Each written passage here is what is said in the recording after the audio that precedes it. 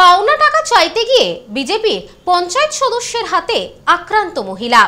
মারধর ও শ্লীলতাহানির অভিযোগ দায়ের বাগদা থানায়। ঘটনায় রাজনৈতিক চক্রান্ত দাবি বিজেপির। পাওনা টাকা চাইতে গিয়ে বিজেপির পঞ্চায়েত সদস্যের হাতে মারধর এবং শ্লীলতাহানির শিকার হতে হলো দুই মহিলাকে। এমনই অভিযোগকে কেন্দ্র করে চাঞ্চল্য ছড়ালো বাগদা থানার সিন্দ্রানী এলাকায়। ওই বিজেপি সদস্যের বিরুদ্ধে বাগদা থানায় লিখিত অভিযোগ জানিয়েছেন আক্রান্ত মহিলারা।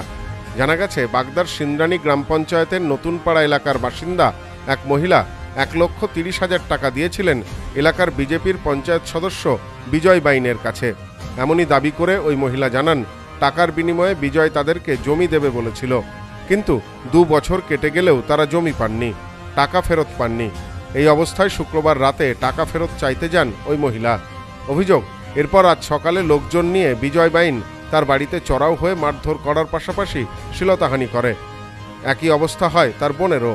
এ বিষয়ে তারা বলেন, জমি দেবে দিয়ে দু, এক লাখ তিরিশ হাজার টাকা নিয়ে এসে তা আমার দিদি বারবার যায়। ওই সে মেম্বর হয়েছে আমাদের এইখানে পঞ্চায়েতে। বারবার আমার দিদি যায়, বলে দেব দেব। এখন বলে দেব না। আমাদের এক- একটা লিখিত ছিল জমির ব্যাপারে। সেই লিখিতটা নিয়ে আমরা বলিছি তুই দিবি না? যখন আমরা এই থানায় কেস করব এই লিখিতটা নিয়ে। তাহলে সে লোকজন নিয়ে এসে আমাদের মারধর করে লিখিতটা আমাদের কাছেতে নিয়ে যায়। এরা বিভিন্ন ধরনের আচরণ করেছে। আমার কাছ থেকে নিয়েছে জমি দেওয়ার কথা উল্লেখ করে। দুই বছর হয়ে গেল। টাকাটা চাতে যাই বলে যে কাকিমা দেব দেব। হ্যাঁ জমি দেবে বলে জমির টাকা নিয়েছে। এক লাখ তিরিশ হাজার টাকা। সেই টাকা চাতি যাই বলে দেব দুই কিস্তি চাতি যাই বলে যে তোমার টাকা পয়সা দিয়ে দিছি জমিও দেবো না টাকাও আমি দিয়ে দিছি। কি প্রুফ আছে? সেই প্রুফটা আমি বলছি আমি থানা পুলিশ করতে যাব। সেই থানা পুলিশের কাগজটা ও সেই লিখিতটা নিয়ে ও নিয়ে গেছে ছিঁড়ে উড়ে ফেলে দিয়েছে। আর ধর আমাকে ঘরের থেকে টানিয়ে ধরে আমাকে সবাই মিলে এসে মারধর করেছে। এতটা সাহস পেয়েছে বিজেপিতে হয়েছে আর আমার আমাদের বেটা ছেলে বাড়িতে থাকে না দিয়ে ও আরও সাহস পেয়েছে। এ ব্যাপারে স্থানীয় তৃণমূল নেতা জানান বিজয় বাইন যে কাণ্ড ঘটিয়েছে এটা বিজেপির কালচার। আক্রান্তরা বাগদা থানায় লিখিত অভিযোগ দায়ের করেছে। আশা করব পুলিশ উপযুক্ত আইনি পদক্ষেপ করবে। এটা তো বিজেপির সংস্কৃতি উনি তো বিজেপির মেম্বার। ঘটনাটা ঘটেছে আজ সকালবেলা।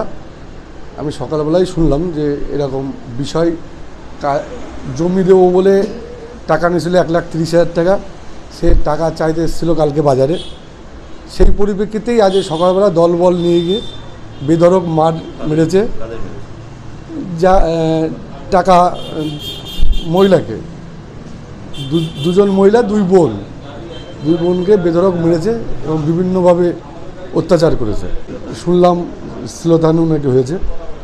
থানায় অভিযোগ করেছে এবং থানায় কেসও হয়েছে। যদিও গোটা ঘটনা অস্বীকার করেছেন অভিযুক্ত পঞ্চায়েত সদস্য বিজয় বাইন।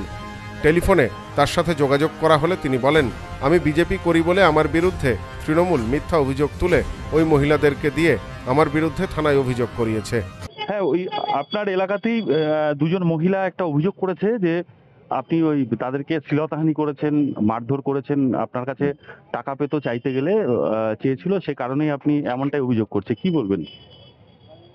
এসব পুরো ভুল কথা বা মিথ্যে কথা এই তৃণমূলের ষড়যন্ত্র এসব। আচ্ছা।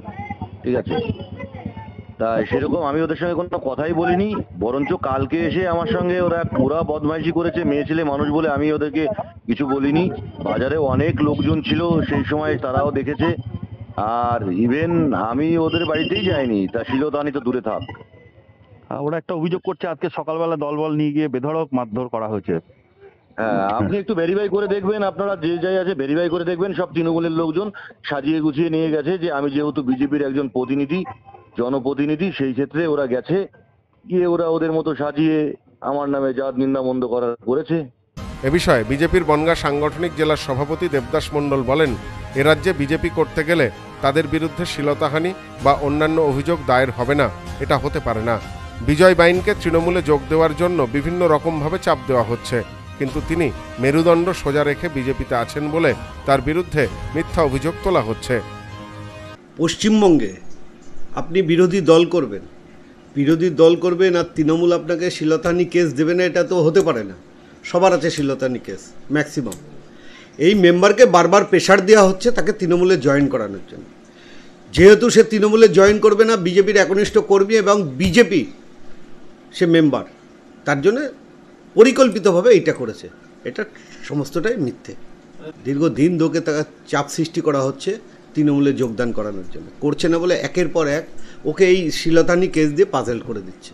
কিন্তু ওর মেরুদণ্ড সোজা আছে। Bureau report. News no man's land Bagda.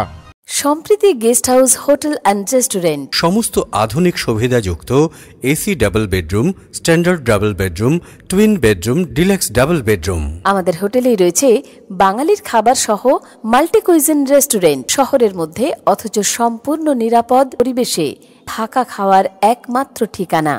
Sampriti guest house hotel and restaurant. Chakdah road টবাজার Bongaon. Phone zero three two one five two five seven six zero three.